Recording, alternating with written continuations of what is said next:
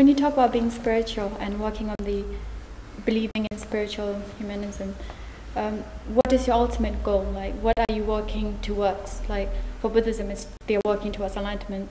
For Christianity, they're believing in God. And but what what are you trying to do by believing in this? You see, when we look at different religions, they seem to be pointing in different directions. This is one of the criticisms leveled against old religions. In fact, the one method people, atheists, use to demolish old religions is to play one religion against another. They say, look, chaps, you know, there's no reason or rhyme to your whole system. You want to go in front of your God, Vishnu, and sit at his feet and keep saying, oh, Vishnu, you are so lovely. And this guy says he goes enlightenment. And this guy says, God, what's that? So the whole lot of you are so scattered so I can play one religion against another. You know, this is how you can criticize, and this is how one of the criticisms of world religions that you seem to be looking in, uh, shooting in different directions. Your end, end game, destination seems to be so different. So how can you think there is some kind of unity or reconciliation? This is how the reconciliation comes, and this is the aim of spiritual humanism. The reconciliation comes in this very unique manner. It comes in, if you are familiar with Hindu philosophy, it comes in the Advaita tradition of Hindu philosophy, Advait. Let me just mention a little bit to you about what is Dvait and what is Advait. The Dvait tradition thinks that we are some individual little tiddly fellows, you know, creepy crawlies, and there's God Almighty, oh Lord, we love you. And our aim of life is to go and sit at His feet and worship Him. So, oh Lord, we adore you, we love you, oh Vishnu, you are so lovely. This is the aim of Advait. The aim of Advaita is saying, no, no, no, really, you are the spirit. You are essentially the spirit. You just need to re-establish your link with your essential nature as the spirit.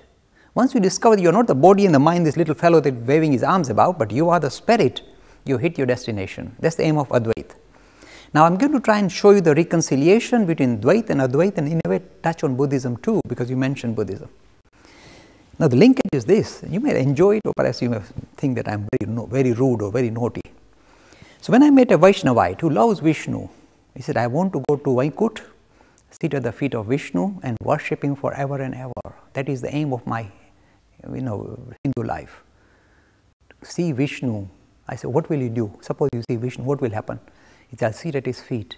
And I look up to him and say, Vishnu, your eyes are like petals of a lotus they are pink and they are so lovely, so well curved. Vishnu, you are so sweet, your eyes especially. And Vishnu says, okay, okay, boy, take it easy, calm down. And you said, no, but Vishnu, I must repeat because I am here with you for infinity. Your eyes are so lovely. Vishnu, all right, second time, but, but I'm here for infinity. I've got nothing else to do but just keep looking at your eyes and go, wow, they are so beautiful. So you keep doing this until you get fed up, Vishnu gets fed up of something will happen. I said, I think this is what's going to happen. Now you say I'm very rude, and so people Vaishnava tradition might really you know throw eggs at me, but if they are vegetarian, they may not throw eggs. They may throw, but whatever. So what, what is the what is the end game? This is what I tell them. Smile if you like, or accept this. Don't accept if you don't like. I say, look, when you look at the, you sit at the feet of, feet of Vishnu and looking at Vishnu saying adoringly, oh Vishnu, I love you, I love you, you reach your destination. You not reach your destination. When that love kind of intensifies, when it becomes very intense, you say, oh Vishnu, I love, then you say, oh Vishnu, you can't even speak the word because the love is so intense, it's getting in your way. When the love is hits its apex, the devotee can no longer see himself different from the object of his devotion. That is called intense love. You may have heard, you know, stories of Layla, Majnu, or Romeo and Juliet. You hurt one, the other one goes, ouch. When, I'm so digressing because this is a young age, I have to talk about this stuff. But the thing is, when the love is that intense, the love is so intense that the devotee can no longer see him or herself separate from the object of his worship. That is the, if you like, the culmination of love.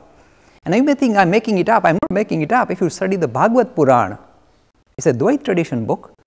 It talks about, you know, Krishna basically, you know, dancing with the gopis. And in no time, gopis say, now that is Krishna, that's me, that's Krishna, that's me. And in no time, they say, I am Krishna, who is he? When the love is that intense, they can't see themselves as different from the object of their worship. They see themselves as Krishna.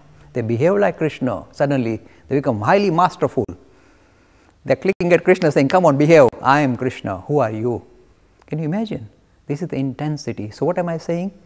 the culmination, even though they, they, they seem to be completely at different loggerheads. So this is Dvait tradition. You sit at the feet of Lord and just worship Him and don't be big, you know, big, you know, big-headed.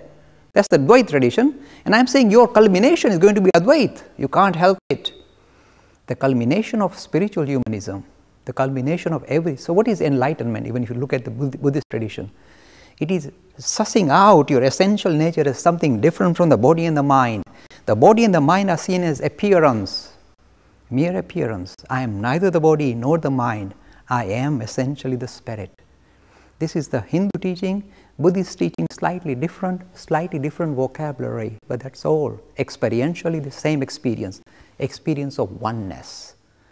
Now, if any of you, you may think that you, know, you are very ordinary people and you have no clue of what I am talking about, but actually all of you may have been lucky enough that once in a lifetime, once in a while, while you're doing something very ordinary, you know, just sweeping the floor or cleaning or walking near the beach or something, suddenly you may have felt, I hope you have or you will in the days to come, you feel tremendous peace descending on you, you feel tremendous oneness with the whole of this creation.